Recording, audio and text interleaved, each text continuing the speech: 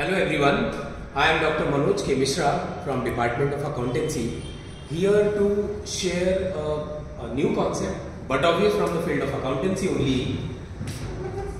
Before I feel that if suppose I am supposed to tell you some concept, so let, let us have some kind of you know understanding why that concept is actually required.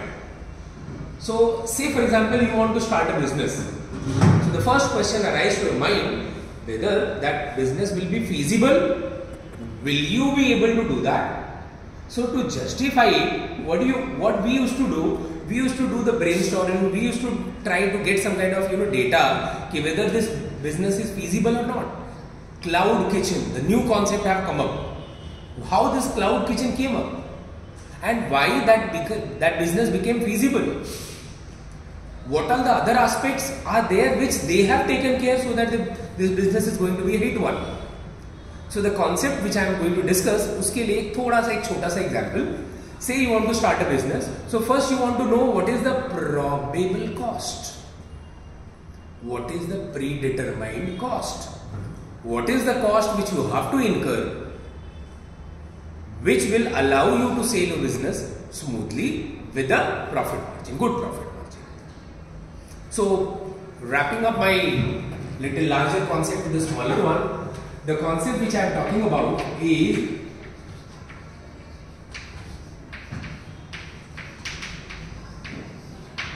here the word standard means predetermined. The cost which is already being informed by someone, the one who is not into the picture, the one, those people are, you know, are those people they are already doing business they they are sharing their expertise with with VR so we are basically uh, trying to know if I am going to start this business so whether this business will be, will be feasible or not so this feasibility part this uh, the decision of whether to go for making the product or going for buying the product मतलब outsourcing करना है या खुद बनाना है ये concept ये discussion ये decision is the one of the most crucial decision which every business uh, business person is troubled. So the standard costing, how this help us, we'll try to we'll try to uh, understand it. So there are basically so many type of cost like material cost, labor cost, mixed variances, so many overheads. But as far as our syllabus is concerned, we are restricted to two part only that is material cost differences and labor cost differences. The word differences are uh, uh, uh, given a term as variances.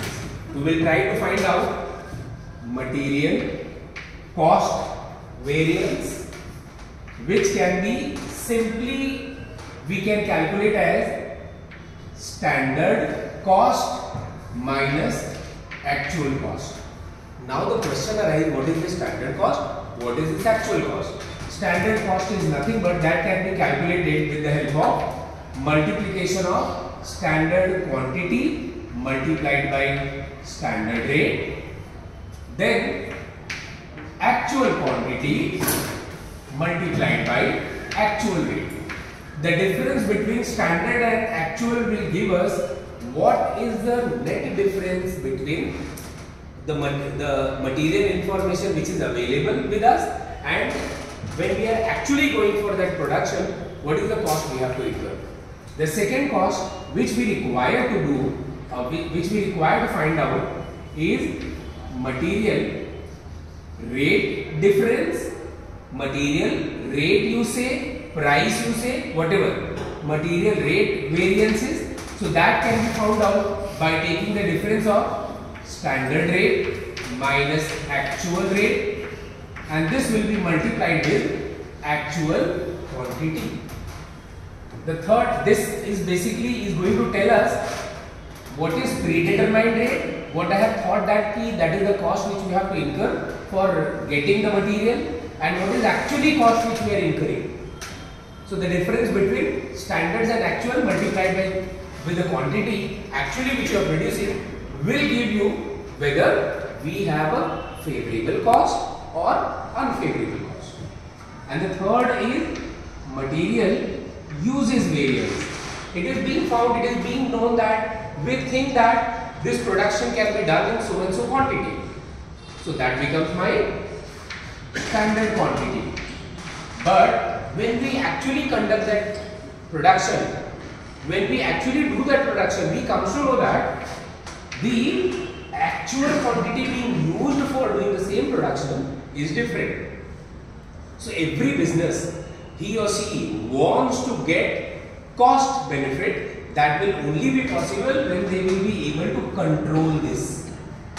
सोचा क्या था और हुआ क्या the difference between सोचा and हुआ multiplied by weight will give us variances of uses. And this is for the material guys same way exactly same calculations is done for labor cost. Exactly same.